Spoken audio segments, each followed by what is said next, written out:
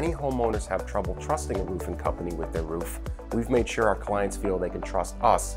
We treat our customers' homes as if they were our own by not cutting corners, providing realistic timelines, and delivering results. Our team's focus is to grow the skilled workforce and build a team that will positively impact the roofing industry. We feel 100% confident that you will not find a better experience. At Red Dog's Roofing, our number one goal is to make sure our name, legacy, and integrity are maintained. So we will 100% do what is best for the homeowner's needs, regardless of how much it benefits us every time. That's the Red Dogs way.